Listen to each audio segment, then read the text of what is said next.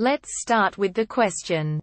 Civilization 6 Rise and Fall, my 2K cloud save is no longer working I just upgraded Civilization 6 to Rise and Fall.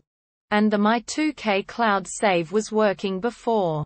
I installed Rise and Fall, but now it isn't. I have tried exempting the Steam folder from Windows Defender, and turned off the Defender firewall, neither helps. I also tried closing and reopening the program.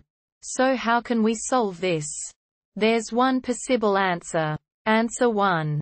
The op stated in a comment that the issue was resolved the next day for no apparent reason. It might be an issue with the cloud save servers, meaning a possible solution is simply to wait. I hope this answer helped, and if it did, please drop a comment and subscribe.